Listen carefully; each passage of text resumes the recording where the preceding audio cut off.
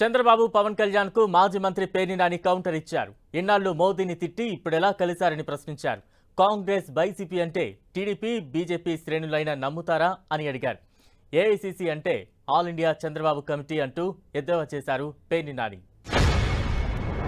పవన్ కళ్యాణ్ గారు కూడా చెప్పారు. వెంకన్న బాలాజీ తిరుపతి బాలాజీ ఆశీస్సులతో మా కలయిక గొప్ప కలయిక అయింది అని చెప్పి చెప్పారు. మరి రెండు వేల పంతొమ్మిదిలో ఈ పాచిపోయిన లడ్లు ఇవాళ చెరకలూరుపేట సభకి ఎలా తాజా లడ్లుగా మారినాయో పవన్ కళ్యాణ్ గారు చెప్పాడా ఈ రాష్ట్ర ప్రజలకి? ఎంత రుచిగా ఉన్నాయి?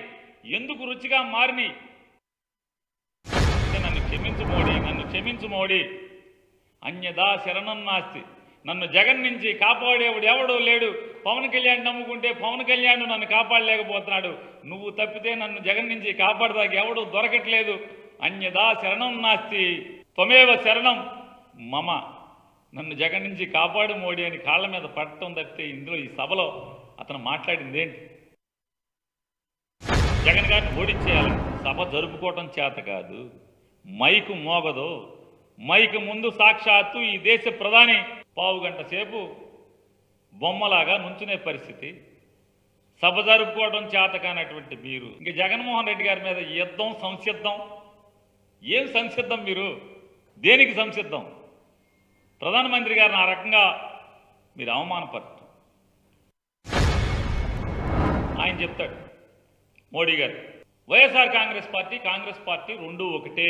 YSR Congress party Congress party ఒకటి రెండు ఒకటే అంటే. ఎవడన్నా నమ్ముతాడా? ఎవడన్నా ఈ రాష్ట్రంలో ఉన్నటువంటి తెలుగుదేశం కార్యకర్తలు నమ్ముతారా? భారతీయ జనతా పార్టీ కార్యకర్తలు నమ్ముతారా ఎవడన్నా? కాంగ్రెస్ వైఎస్ఆర్ కాంగ్రెస్ ఒకటే అంటే మోడీ గారు కొంచెం అర్థం చేసుకోండి. ఏఐసిసి అంటే ఆల్ ఇండియా కాంగ్రెస్ కమిటీ కాదు. ఆంధ్ర తెలంగాణకు వచ్చేప్పటికీ all India Chandrababu Naidu committee అది. ఈ ఆల్ ఇండియా చంద్రబాబు నాయుడు కమిటీలో రేవంత్ రెడ్డి ఉంటాడు రేణుకా చౌదరి ఉంటుంది తులసిరెడ్డి ఉంటాడు షర్మిల ఉంటుంది.